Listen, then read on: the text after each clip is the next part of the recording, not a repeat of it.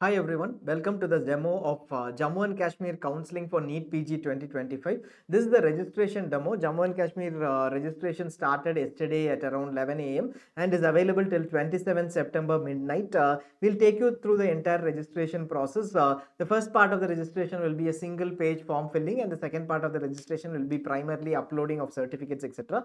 Uh, we'll take you through everything one by one, field by field. Uh, we will also have the Jammu and Kashmir info guide up uh, tomorrow and uh, the rules of Jammu and Kashmir counseling alone will be a little delayed because Jammu and Kashmir has removed last year's rule from the information rules from the information brochure. So we are expecting maybe a slight change in the rules, uh, but we'll still nevertheless wait for some time and then publish the Jammu and Kashmir rules. Uh, now we'll go into the um, Jammu and Kashmir uh, counseling uh, on how to apply.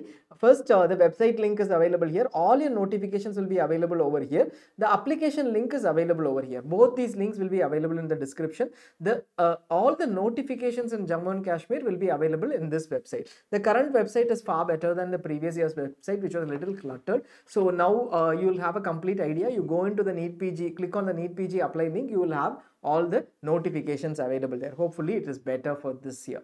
Now eligibility uh, the uh, eligibility basic eligibility of jammu and kashmir is straightforward. There are a lot of clauses here but it's pretty straightforward. You have to be a resident of jammu and kashmir uh, or ut of ladakh. So uh, either jammu and kashmir residents or uh, ladakh residents are eligible. Uh, the rest of it you can possibly ignore too. You can be an mbbs from any state doesn't matter jk or any state. But we would suggest you to have a jammu and kashmir medical council registration. We are yet to confirm whether uh, they accepted uh, a different state medical council registration last year. So we had highlighted earlier itself that there might be an issue. So better to have a jammu and kashmir medical council registration. Otherwise just call up jkbope for confirmation. And uh, otherwise uh, even foreign medical graduates who are jammu and kashmir residents or ut of ladakh residents are eligible.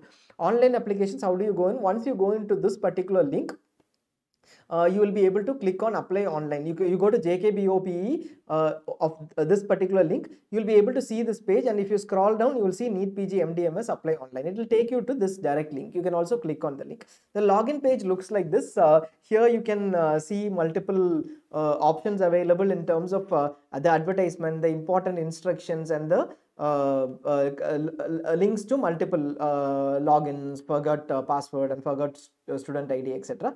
All these will be available over here. You disable pop-up blocker because some of the notifications might be available. Some of the uh, login uh, pages etc might be available on pop-up later so please upload the uh, please disable the pop-up blocker now we can go on to the login page. Uh, in this particular page once you click you can uh, start here with click to apply and then go on to the login page. Once you log in you will come back to this page and here at any point in time you can click to login if you have already been registered. Login page has this goes through the complete information. Uh, note that uh, everything is available over here. You should also go through the prospectus or the information brochure which is available. Almost the same as last year with very very minimal changes. You can go through that uh, up to you to go through that or we'll run the info guide tomorrow. You can also do go through the info guide for some information. Go through everything and then click on i have read, read the instructions and click on apply. Uh, registration page it takes you to the registration page. We are showing you the registration page. The registration page is a long page. We are showing everything here. One followed by this set of fields and then a submit button. So this is uh, the registration page uh, with all the fields. We will take you through every field one by one. First you start with the NEET roll number. This is the NEET PG roll number starting with 25. You can just mention the entire roll number and the All India score. That will be in your All India scorecard. Uh, any scorecard is fine. Uh, and the All India NEET rank the entire rank that you got in All India. This is the NEET PG rank. The August 29 scorecard will have this rank. Uh, date of birth you mention as in your NEET PG scorecard. Please mention all these details.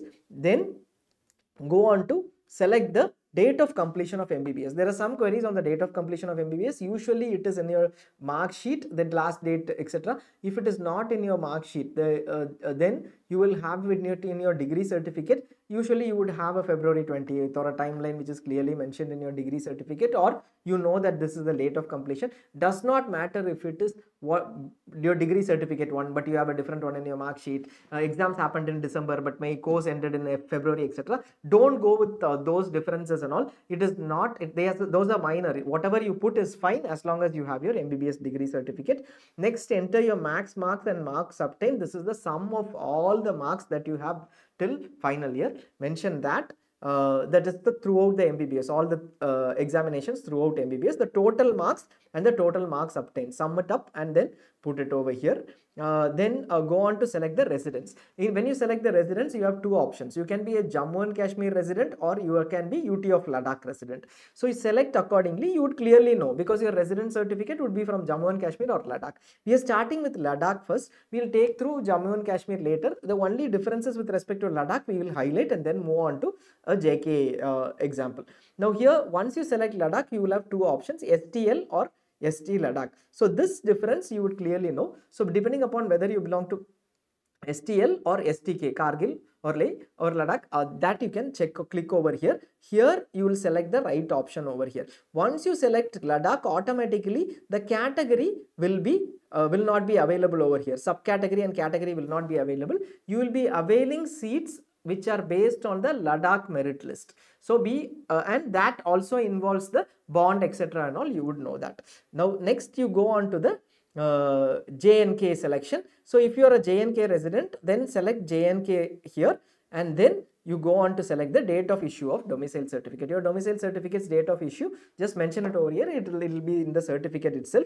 Select the category that you belong to. You will have multiple options over here, uh, open merit category, scheduled caste and under scheduled tribe you will have ST1 or ST2. We'll show you that and then also the OBC categories like resident of backward areas, ALC or international border or uh, the other backward classes. Now here if you don't belong to any of these categories you shall select open merit. Uh, let us say one by one we will take you through. If you select open merit obviously it will not show you anything same with schedule caste. uh, uh, but uh, if you are selecting you don't need to upload a certificate for open merit. If you are selecting schedule caste, the date of issue of the category certificate is to be mentioned over here. The day month and year has to be mentioned. If you are selecting the uh, other OBC categories backward class categories resident of backward area class then you will have to mention the issue date of the certificate. The issue date of the certificate should not be before the application end date, correct? Very clearly. So that is 27th as of now. It should not be before that.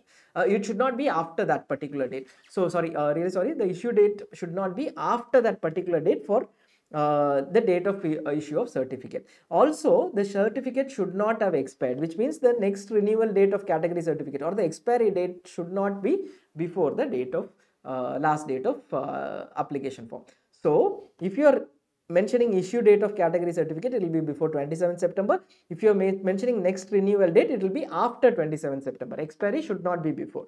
Uh, then go on. If same for uh, uh, ALC, actual line of control or uh, international border candidates. Next for EWS, you will just mention the issue date of the category certificate. This should be uh, uh, with reference to this financial year. Scheduled tribe, only if you belong to these categories, community categories. Scheduled tribe 2, ST2 uh, is if you belong to this community categories, uh, both you will have to mention the issue date of the category certificate. Other backward classes, then you just mention the issue date of category certificate. So this is what is required as far as each class is concerned. Uh, if you have a subcategory, this is for the horizontal reservation part. If you have a subcategory, mention yes. What is the subcategory? These are the subcategories. If you are a, uh, if you belong to children of defense personnel, if you are eligible for uh, outstanding proficiency in sports, you might have already applied for the uh, Jammu and Kashmir Sports Council. That if you belong to or if you belong to children of JKPM or children of police or military paramilitary force police personnel or paramilitary forces of JK then you will select any one of these categories so this you select and then go on if you select children of defense personnel alone then you will have the priority clearly mentioned. the priority is also mentioned in the prospectus you can have a look at the priority if you have any queries you can call us too and uh, the certificates need to be present uh, got from the respective authorities the circle officer or the DIG etc depending upon which uh, category that you belong to. Next we move on to the email. Enter your email and confirm the email. Please note that your email has to be with you till the end of the process. That is very very critical because otps or multiple communications might come into your email. Uh, internship completed. Obviously you will mention yes. Uh, date of completion of internship you will have to mention this is before 31st july 2025 valid category certificate. If you belong to a particular category then you should select obviously yes. Uh, whether debarred uh, earlier by, uh, bope in case you have uh, uh, quit your uh, mdms seat last year then there is a debarment of three years. Then you would say yes and you become ineligible very clearly. Uh, mobile number mention the mobile number and the alternate mobile number over here. Uh, right now uh, if it is internship completion is no you might not need to enter the date is what this mentions and uh, uh, alternate mobile number we had mentioned now we come to the last part of this uh, uh, before this we get into the service categorization whether eligible under hindu minority quota nri quota so if you are going to be eligible under nri quota or Hindu minority quota or you want to apply under NRI quota basis eligibility, check these boxes. Hindu minority, if you are a Hindu minority candidate can produce a Hindu minority certificate. NRI, if you are an NRI candidate or your parent is NRI or as per the norms. Now, uh, whether pursuing PG, yes or no, we uh, already mentioned. If you are pursuing a PG, you should have completed your PG. As per the prospectus, you should have completed your PG before the date of NEET PG uh, uh, application form when it when did it happen long time back and you should have uh, got your results before 27th of september. That is the rule that they mentioned. It might be a pg diploma or pg course. Now that is the rule that they have mentioned. You can just take a call on that. You can confirm with them whether served in difficult area. So this is only for service candidates. The next set you are going to see is for service candidates. There is some confusion saying even if i say no again in service says yes. Correct? Don't worry about that. Mention no over here. Whether served in difficult area mention uh, if you are mentioning no mention no and go ahead in both the areas. Let us say you are mentioning yes here. Who will mention yes? Only in service candidates right? Mention yes over here.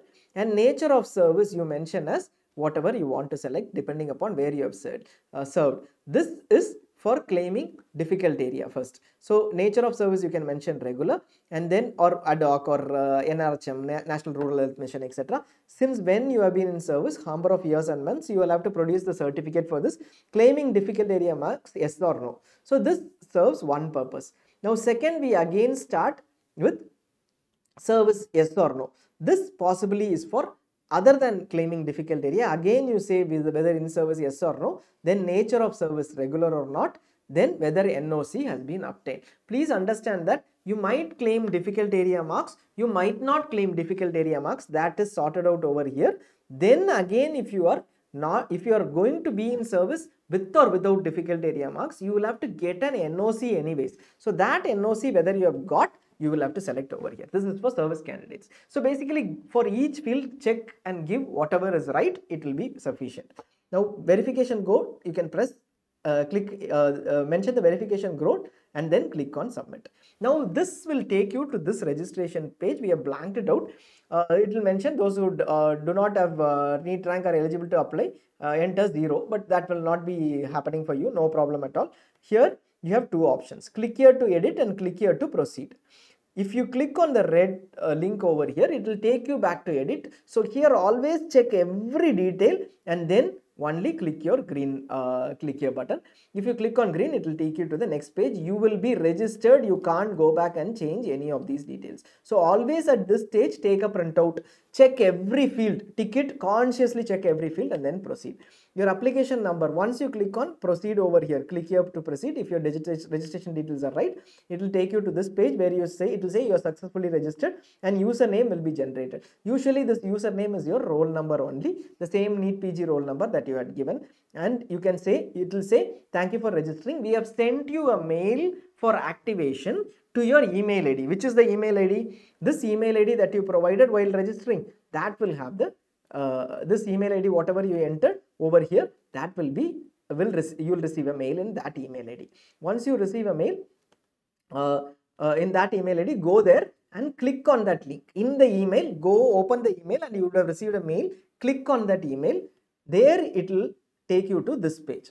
You can create your password new password and confirm new password. But this otp will also come to your email. Again a otp will come to your email. Enter the otp and enter your new password and confirm new password. Check for the otp and enter that. Once you click on submit again there will be you will get a confirmation that uh, your the, uh, account has been registered your account will be activated. Now next you can always go back to this at any point in time to upload documents etc your application number will be usually the 25 number that you have uh, and uh, you can go on uh, and complete the entire form. This submit will say account activated successfully you can now log in with your new, new password. This is confirmation that you have created your account but uploading documents is still pending. So please upload your documents. Go here and click on upload documents. It will take you to application number date of birth and verification code. Enter your application number and date of birth.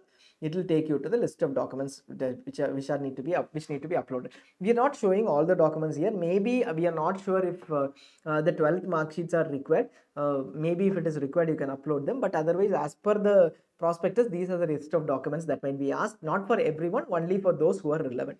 The mbbs degree certificate NEET pg scorecard registration details uh, registration details internship completion certificate and domicile certificate or ut and ladakh for everyone.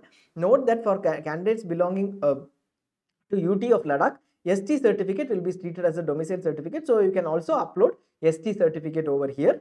Uh, valid reserve category certificate uh, if you are belonging to obc or other reserved category classes or ews certificate uh, as per uh, the notification. Uh, difficult area certificate if it is uh, uh, it is uh, if you are claiming difficult area marks for service candidates NMC MCA clearance certificate some candidates have been asking this is the clearance certificate that you have obtained based on your MBBS degree which is outside India only for foreign medical graduates. That clearance certificate that you have obtained from NMC uh, for proceeding to your internship and everything that is to be uploaded here. Uh, uh, and then you can uh, get an NOC for uh, NOC for in-service candidates need to be uploaded. These are straightforward. The certificates are uh, around 100 um, KB to 200 KB we guess in PDF format. You can just check all that and then go ahead and upload. In case while uploading you see a signature or in the final reference, sorry, photograph or in this final reference you see a photograph which is not right, don't worry about it. Photograph not populating etc. is not a problem at all. You can go ahead and submit. Once you submit, you will get the you will have a possibility of printing the form print the form and take the entire form. So here after upload documents you will have the final part once you upload that is done. You will print the form and then go back and once again log out log in. If you want check again whether all the documents have been uploaded. You can click and check if everything has been uploaded everything is all right. That is the end of it. Uh, so that is confirmation. Go ahead and your form is submitted uh, contact details of JKBOPE in case you want any queries, uh, have any queries, you can call them up. I think, uh, but the response is not very great. Uh, many candidates are traveling to JKBOPE to uh, get information. If you have any queries, you can also call us on ZyNerd on these numbers. We'll be always available. Any queries, you can also post it here. We'll try our level best to respond to those queries. Thanks a lot for watching.